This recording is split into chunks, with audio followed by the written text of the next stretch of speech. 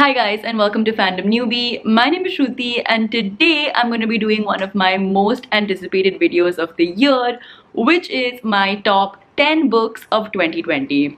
I am so excited to be making this video because like honestly I have read some amazing books this year like seriously so many of them have been absolute five star reads and this list was kind of difficult to make because of that but I had a great time putting this list together so yeah without further ado let's just get started. At number 10, we have The Testaments by Margaret Atwood, which is a sequel to The Handmaid's Tale, which is one of the best dystopian fiction books I have ever read.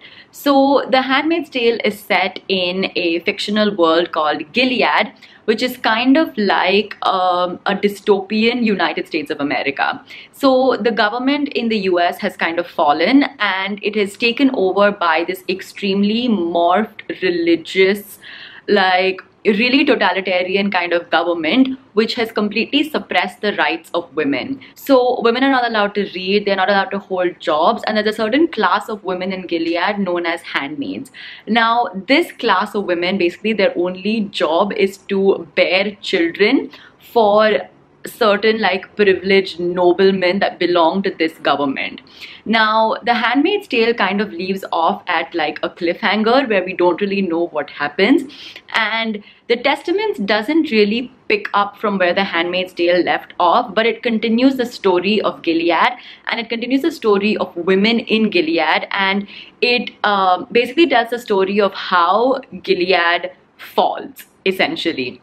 So it's just really really interesting to read. Like i i really like after reading the handmaid's tale i really wanted to know more about the world of gilead. I wanted to know more about how it came together how it fell and all of that. And the testaments kind of offers answers to those questions. So so for me it was an extremely extremely interesting read. And margaret atwood is just an amazing storyteller. So yeah that's why it's on my top 10 At number 9, we have The Poet X by Elizabeth Acevedo. This book basically tells the story of a young teenage girl named Xiomara and she is Dominican American. Now, Xiomara is not like your typical uh, petite pretty young girl you know she's curvy she's vivacious she's loud and she doesn't agree a lot with her mother who is an extremely religious woman. So Xiomara has a lot of like opposing beliefs and she's just like at a stage in her life where she's questioning everything. She's questioning religion she's also discovering her sexuality and she's growing up basically and she's in those really like teenage angsty years. Now that might seem like a story that a lot of authors and a lot of like movie directors have told. But what makes this particular book so powerful is that it is written in the form of poems. And each poem is so heartfelt and each poem has so much emotion and like you know if Xiomara is happy it's filled with so much happiness. If Xiomara is hurt it's filled with so much pain. And each poem is just so beautifully crafted and it really captures Xiomara's um her emotions so well that like this book really really moved me. And in some cases it made me feel very inspired. In some cases it made me feel very angry. And i just it was a very very powerful reading experience. At number eight we have 1984 by george orwell. Now i've spoken about this book quite a few times on my channel. I feel like this book is one which is like kind of like a life-changing book. This book is also set in like a futuristic world where the entire world or at least europe and like north america is ruled by a totalitarian government that controls everything even what you think. What I really liked about this book is that it really makes you think how terrifying politics can get, especially when you stop thinking for yourself and you follow kind of like a herd mentality about how like, you know, the government can kind of brainwash you into thinking certain things when you stop questioning things that they are doing, which is what happens probably in a totalitarian government. So I really like that this book made me think about all of that and it was just a very like thought-provoking kind of read. At number seven, we have Maus by Art Spiegelman. Now, this is basically the story of Art Spiegelman's parents who uh, were Jewish and their entire struggles and their journey through Nazi Germany. So, because they were Jewish, Art Spiegelman's parents basically went through it all.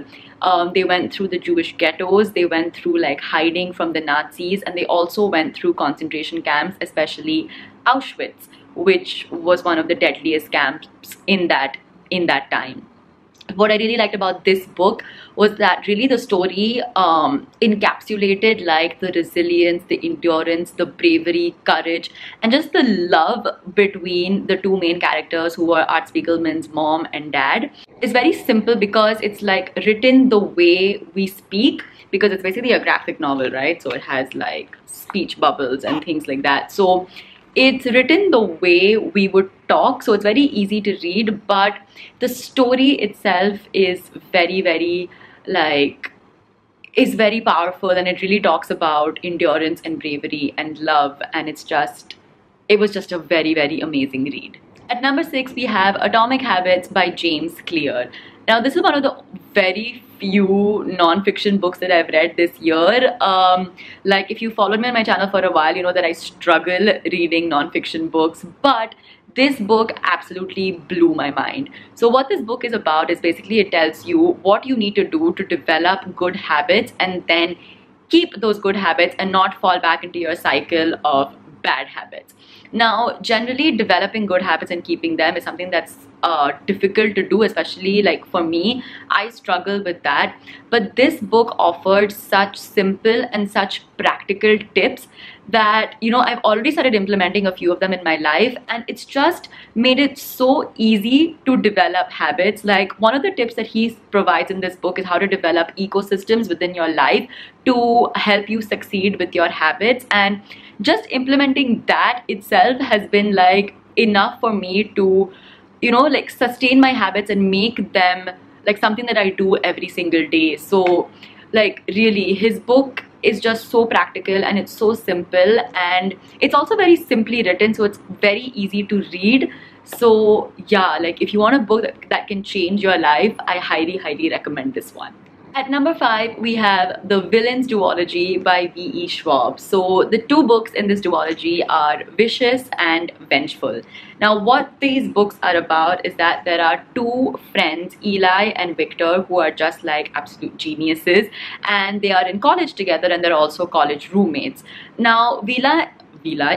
now Eli and Victor are basically like doing their college thesis but they're trying to find out what it takes to create um, EOs, which are extraordinary people, uh, which is basically just the term in this book for superheroes, like people who have superpowers. And Eli and Victor actually find a way to create EOs, but in doing that, something goes drastically wrong. And basically, Eli and Victor go from being like the best of friends to mortal enemies who want to kill each other.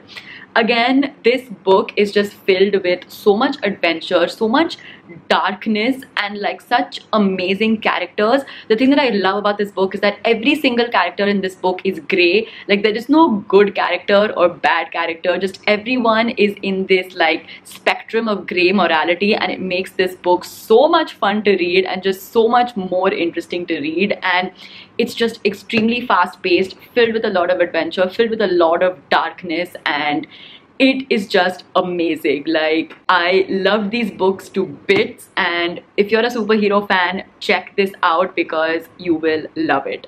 At number four i have a thousand splendid suns by khaled hosseini this book completely shattered me and tore my heart to pieces. I've done an entire reading blog on this book so you can check it out over here. Just click over here to check it out and watch me like cry my eyes out and be extremely emotional throughout this um, throughout reading this book because this book was just an emotional roller coaster. Like I I don't even know where to start. This book basically follows the journey of two women um, set in Afghanistan. So the two women are Mariam and Leila. And it follows like the journey of both these women from when they are kids to when they are adults. And basically like their life circumstances as well as the political turmoil that happens in Afghanistan kind of leads the lives of these two women to intersect and meet and just how they basically um, how they fight and how they in uh, just basically how they fight and their resilience through all the atrocities and all the political like craziness that happens in Afghanistan. And it is just so emotional and so heartbreaking and just so gut wrenching and just so beautifully written like oh my god this book this book really really made me cry so much. And it just it has my heart both these characters have my heart and um I still like I still can't think about them without getting emotional. So yeah, this is an amazing book. It's one of my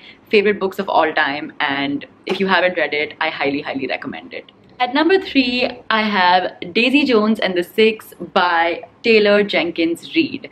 Now, this book also was one of those books that I read like kind of in the beginning of the year especially i think it was during lockdown that i read this book. And this book just i remember after reading it it just stayed with me. Like i couldn't stop thinking about it for almost like a week after i read it. Because again the characters in this book were just so beautifully written and just so so well developed like i just couldn't stop thinking about them.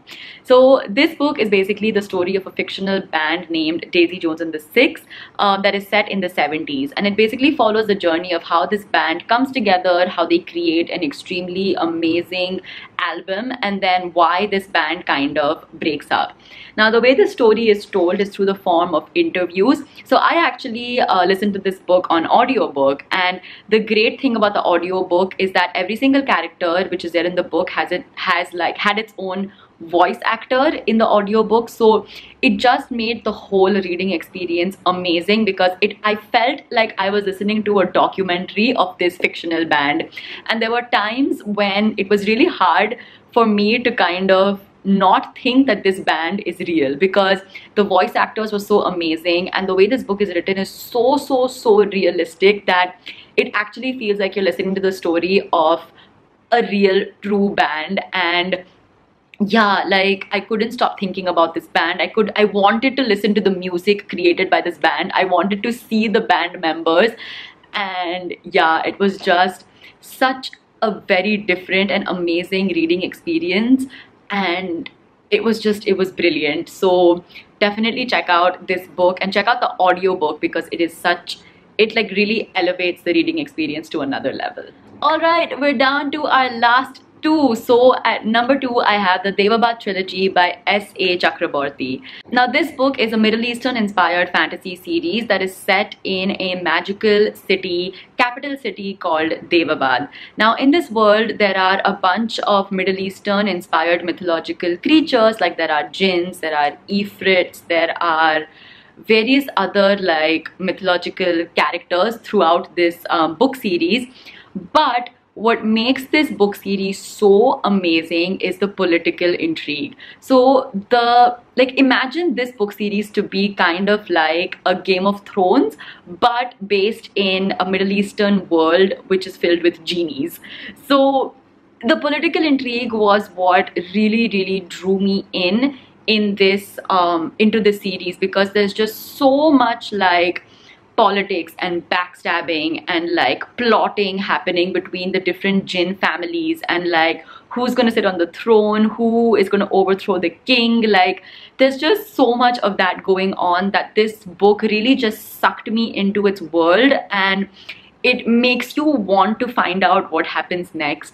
So it was just such a wild ride and so so so beautifully written. This entire book series is available on storytel. So if you subscribe to storytel then you can listen to all three books on there for free. So definitely definitely check this out because it is such an amazing politically rich series that you will fall in love with. So and my number one book actually it's a book series but my number one book slash book series that I read this year in 2020 has to be The Six of Crows duology by Leigh Bardugo. This book just absolutely blew my mind and I I love it. I love both of them. They are just such beautifully written books, such amazing characters and I did not want to finish reading these books because like they're so good and they're so amazing and each character is just so wonderful and I love these books. I love these books so much. They are just so, so, so good. So I'm pretty sure you've heard me talk about these books um, before because I think I have gushed about these books in one video. Basically, the Six of Crows duology has two books, Six of Crows and Crooked Kingdom, and it is set in the Grisha verse, which is the same world as the Shadow and Bone trilogy. Now, this story takes place in a kind of like fictional fantasy uh, city called Ketterdam, which is kind of like the fantasy version of Venice. So exactly like Venice with all the canals and things like that.